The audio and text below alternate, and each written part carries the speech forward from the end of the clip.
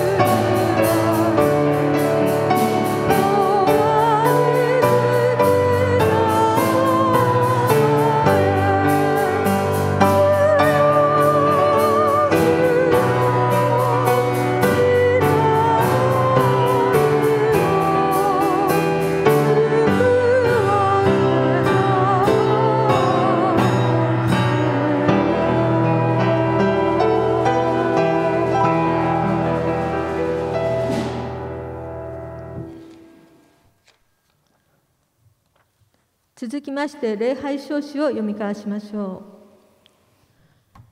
見よ、その日が来る。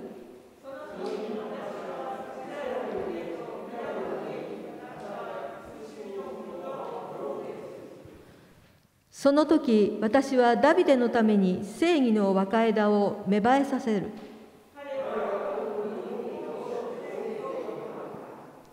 その日ユダは救われエルサレムは安らかに住み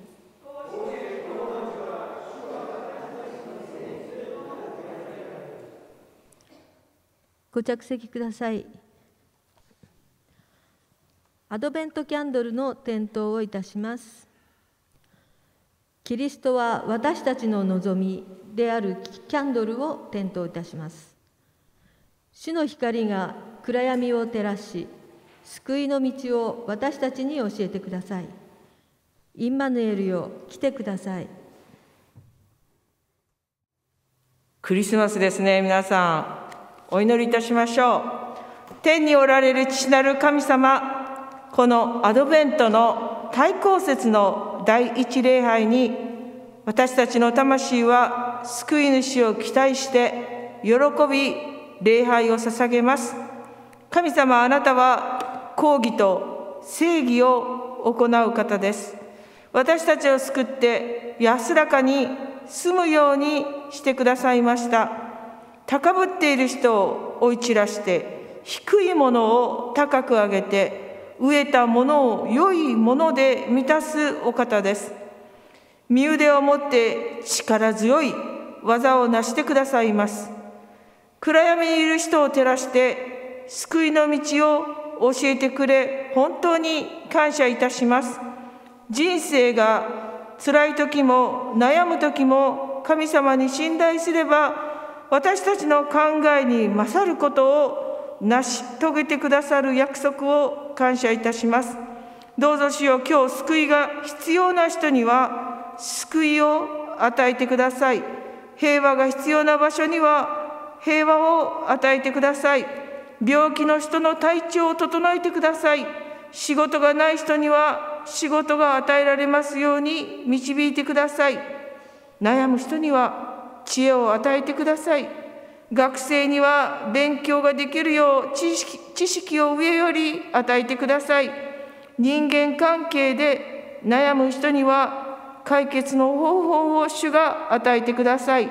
そして続けて私たちの教会をお守りください。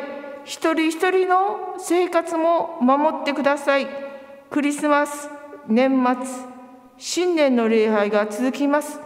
精霊の神様がその礼拝一つ一つを祝福してくださいすべてのことを主に委ねてイエスキリストの皆によってお祈りいたします。アーメン。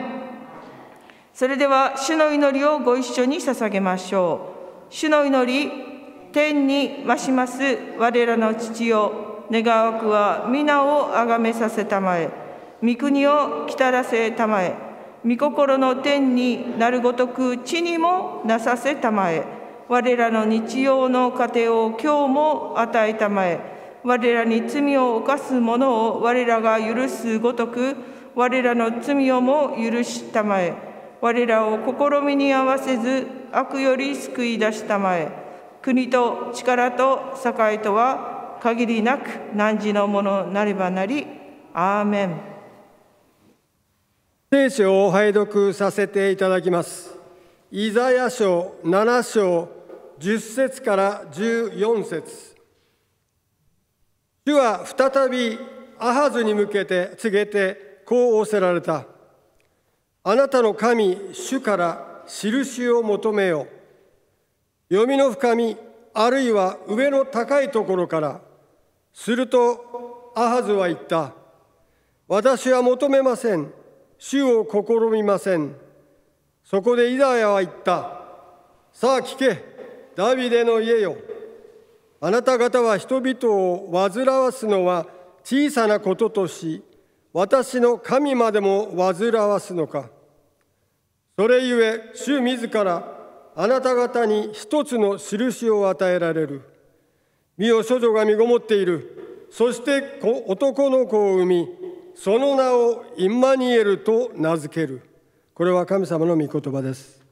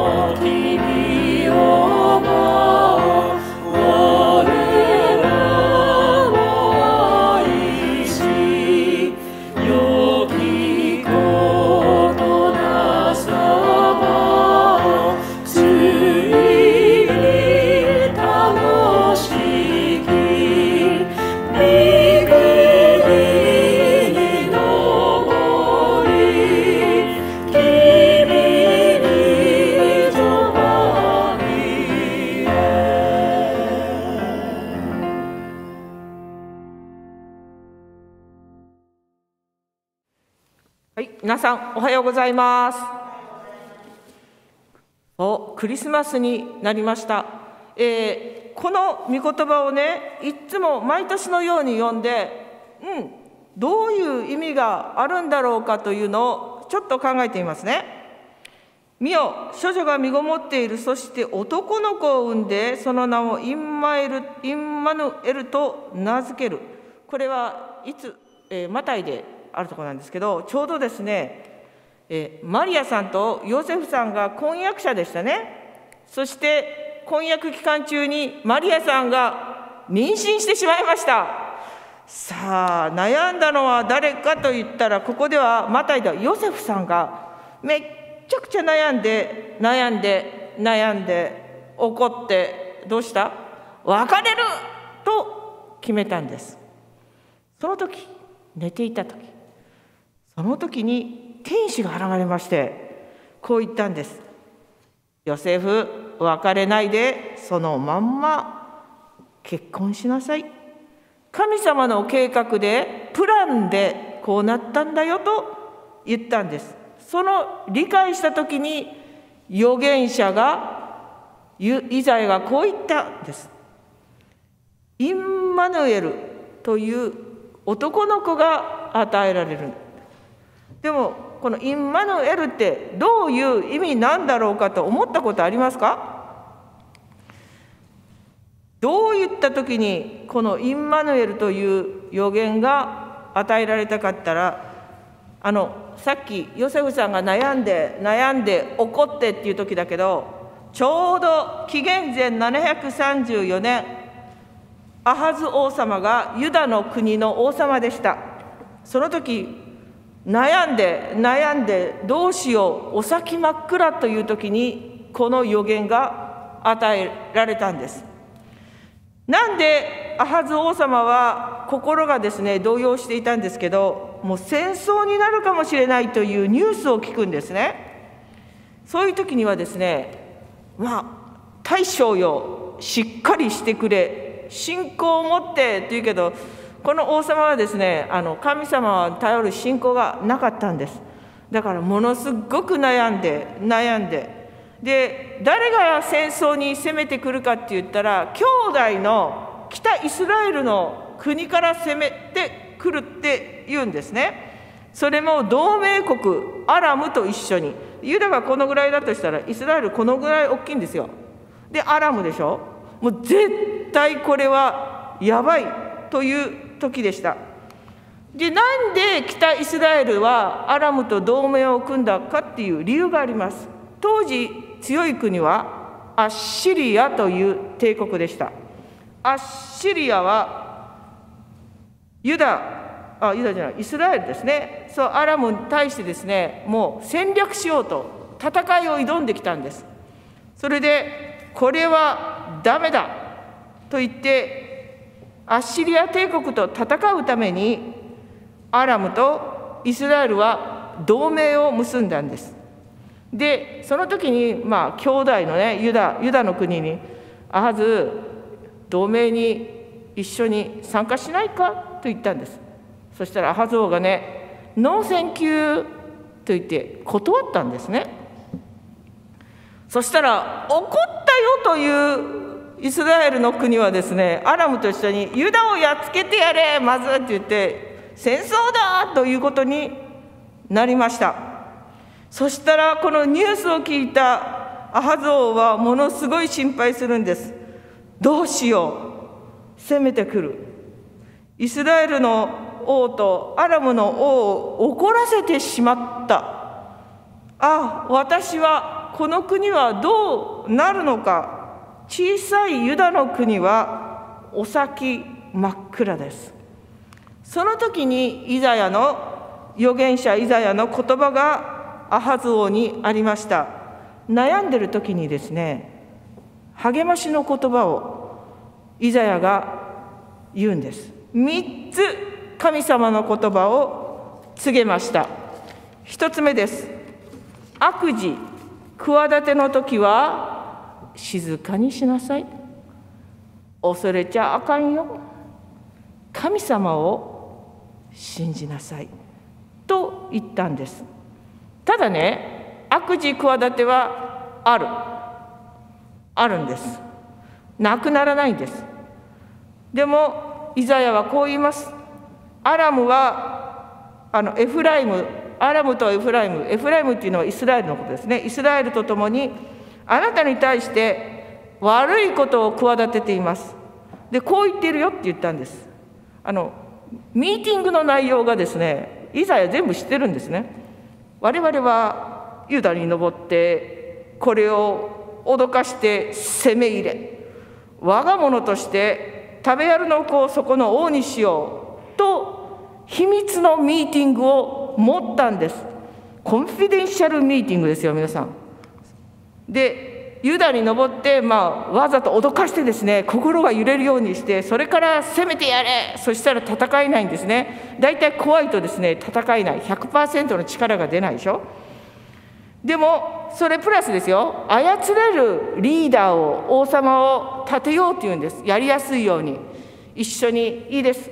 はい何でもします。っていう王様にしようっていうんです。この密会がイザヤに神様によって知らされました。そうすると神様はこう言うからそういうことはね起こらないよ。ありえないよと神様が言いました。65年のうちにイスラエルエフライムは潰されます。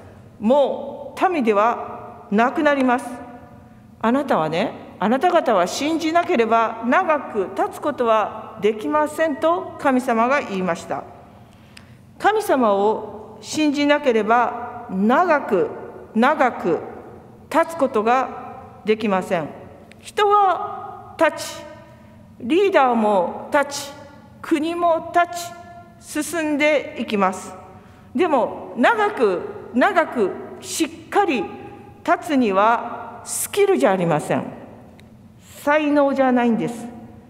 神様をどのくらい信じていくのかによって立ち方が変わります。人生というのは必ず揺れます。恐れが来ます。お先真っ暗でどうしようかという時がやってきます。国は必ずですねあの景気というものが10年に1回は悪くなるんですよ。知ってますか？で人々の生活は10年に1回はカーッと落ちるんです。リーダーというのは必ず人気がなくなる時がやってきます。選挙に負ける時もやってきます。仲間とか側近が去る時もやってきます。敵がいるから必ずちょっかいをかけるんですリーダーっていうのはね。かけられるんですね。敵は企て誰でも倒そうとします。さてそんな時はどうしたらいいのかですよ。神様に祈るんです。けど、えー、去年コロナで皆さん大変な時何しました？皆さんトイレットペーパー買いだめしに行きましたっけ？行ったよね。はいはい。お水買いに行きました。行きましたね。缶詰食料品買いました。米2袋ぐらい買っちゃいましたね。やっぱり人間の心理ですね。敵の攻撃を聞いたニュースを聞いた王様はアハゾーは最初に何をしたかって言ったらエルサレムの備え戦争ですから備えとして水を確保したんです。トイレットペーパーじゃないですね。水彼はね、えー、イザヤはエルサレムの外にあるギホンの泉に行けと神様に言われました。なぜ？そこにはアハゾウがいたからです。水源の確保を行っていたのです。王様はね。でそこにですね神様は言うんです。あんたね息子と行きなさいと。息子の名前がシアル・ヤシェブというんですけど、えー、意味はですね残るものは帰るという名前の男の子でした。でそこで一緒に行った預言者イザヤが言ったんです。王様北イスラエルの国もアラムの国も全然怖がる必要はありません。その国のリーダーたちを恐れなくてもよい。ただのね王様ただの王。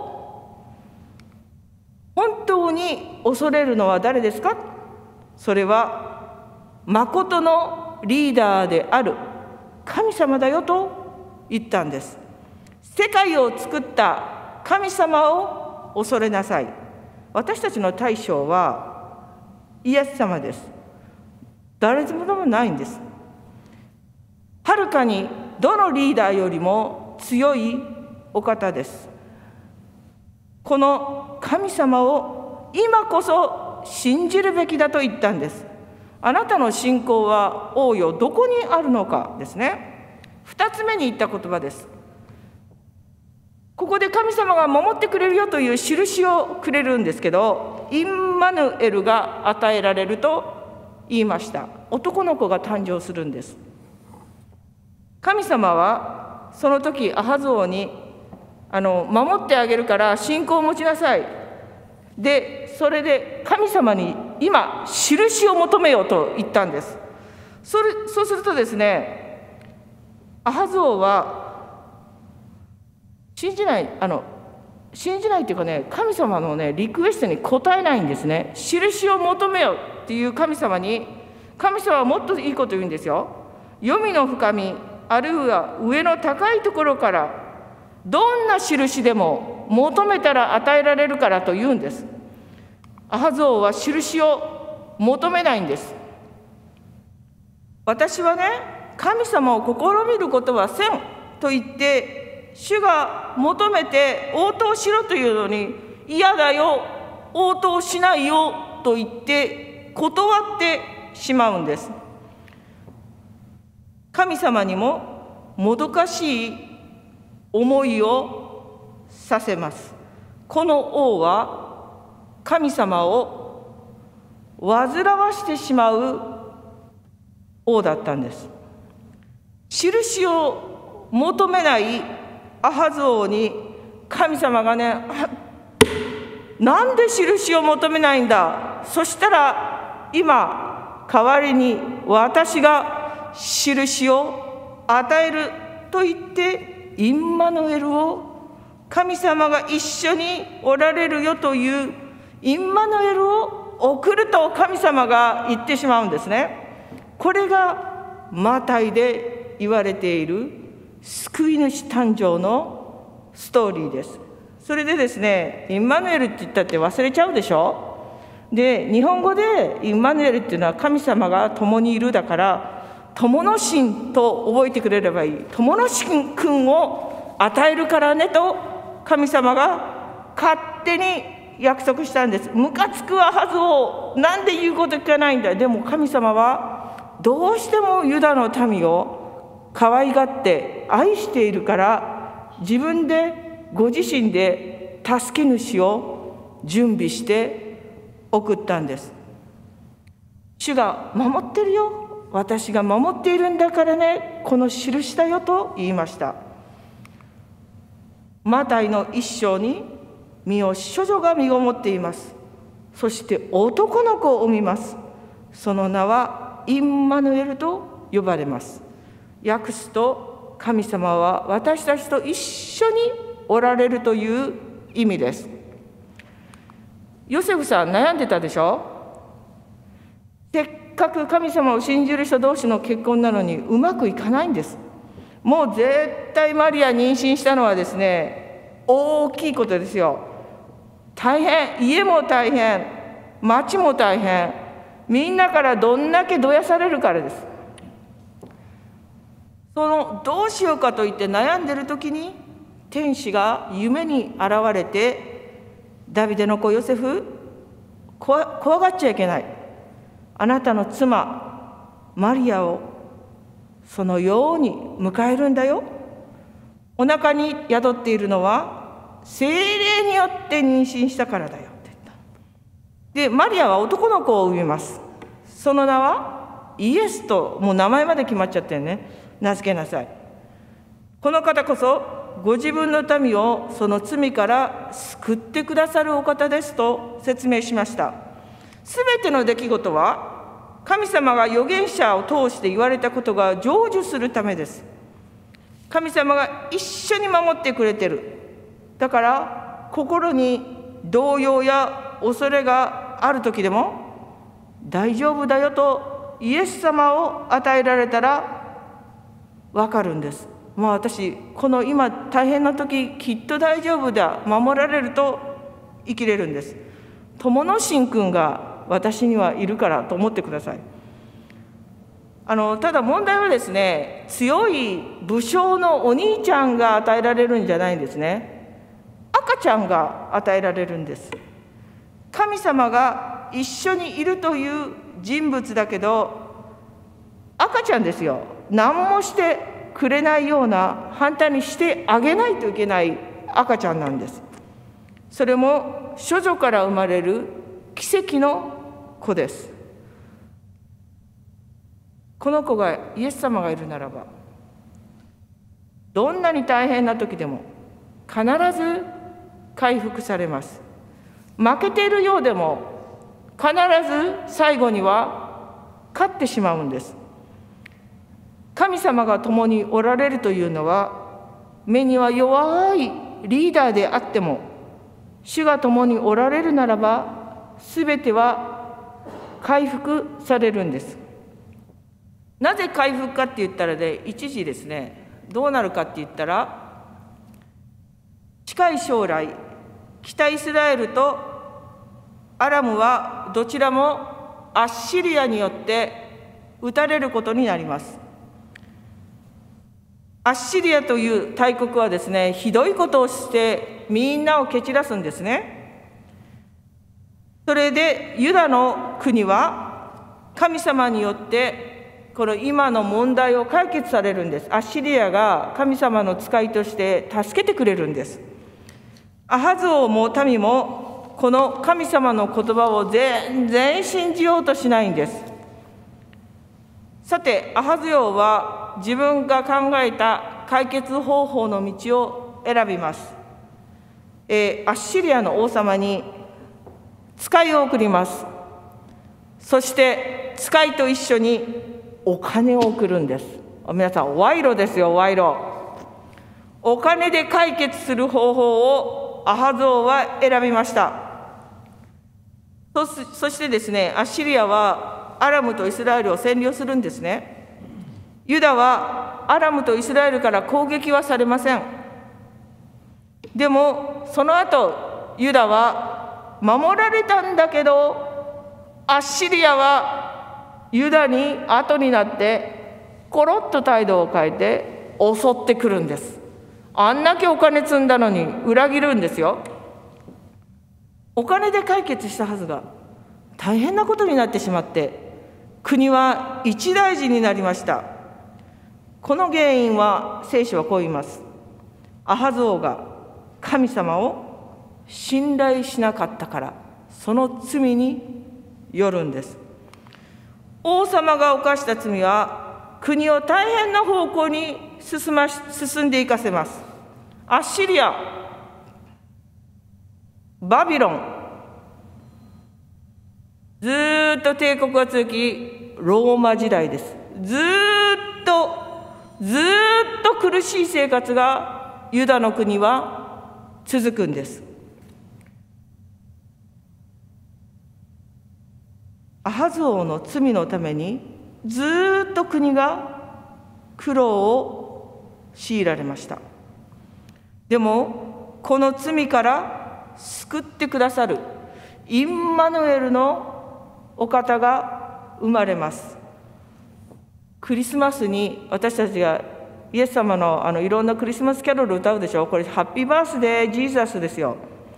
このインマヌエルが生まれるからみんなが希望を持っていたんです。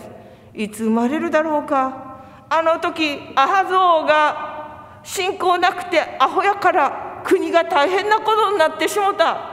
でも神様が一方的に救ってくれるという約束をくれたでしょ？みんなそれをものすごく信じてるんです。主は助けるお方です。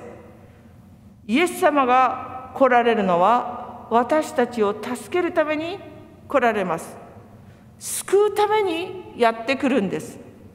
神様はね罪に対してものすごく怒っています。アハズ王がもう全然信じようとしないんです。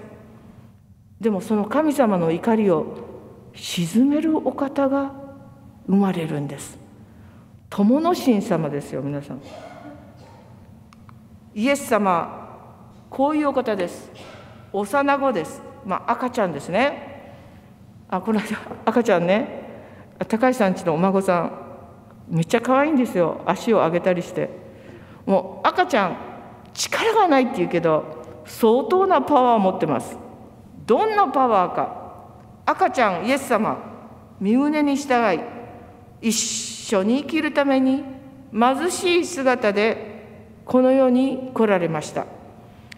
父なる神様の怒りを鎮めて私たちに罪のあがないと恵みをもたらすために来ました。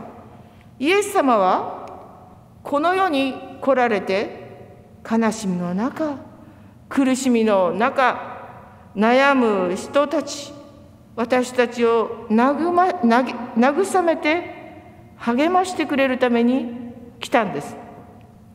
イエス様はあなたを愛する愛の火を灯します。私たちの弱さを強めてくれます。愛が心になくなるとイエス様は愛を教えてくれます。そんなすごい赤ちゃんイエス様が与えられるんです。お祈りいたします。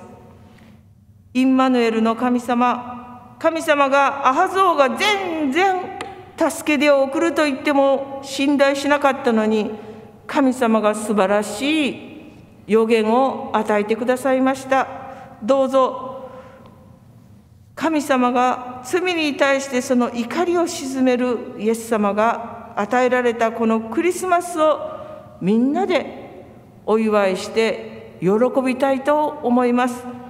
私たちの心に愛がない時に愛の火を灯し弱くなった時に強さを与え励ましを与える素晴らしいイエス様の力を感謝いたします。イエス・キリストの皆によってお祈りいたします。アーメン。ご起立できる方はご起立ください。幼子主イエスをイエスよを賛美いたしましょう。1番から4番までです。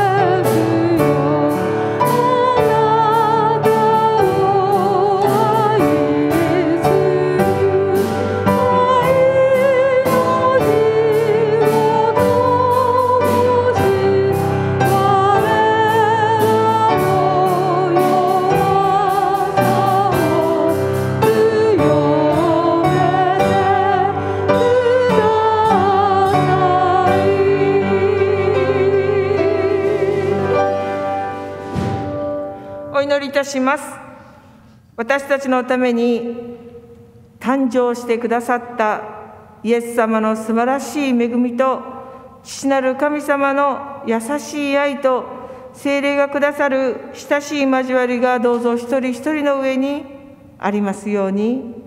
アーメン